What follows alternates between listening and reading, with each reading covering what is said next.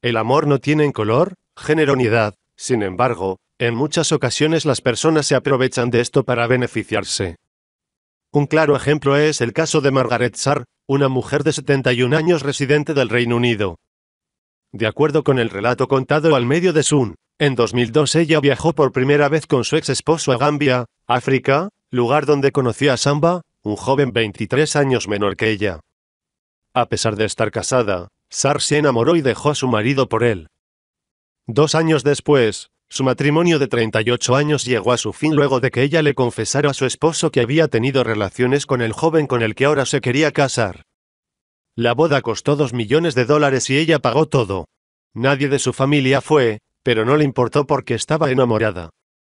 En 2006 Sar le pagó su visa a Samba para que viajara a Reino Unido, sin embargo, una vez allí su relación, amorosa, cambió por completo.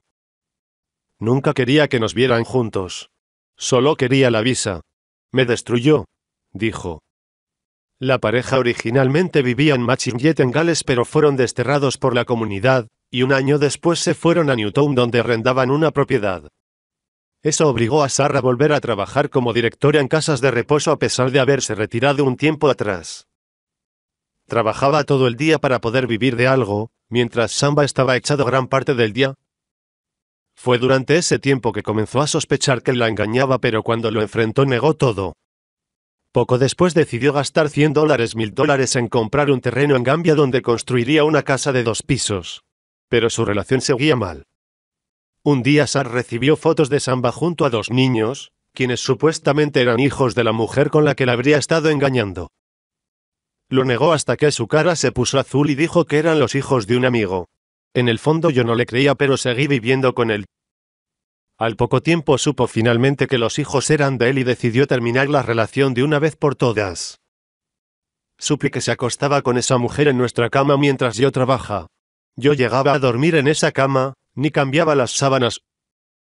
Ahora la pareja se encuentra en una batalla legal por el terreno en Gambia, el cual está en nombre de él. Cuando lo conocí pensé que era el hombre de mis sueños. Fui ingenua, solo quería un pasaporte y una vida acá. Lo saqué de la pobreza y mira cómo me paga. Otras mujeres deben tener cuidado. Cuando voy a Gambia a ver a mi abogado veo mujeres en todo tipo de situaciones. Se fijan especialmente en mujeres blancas europeas,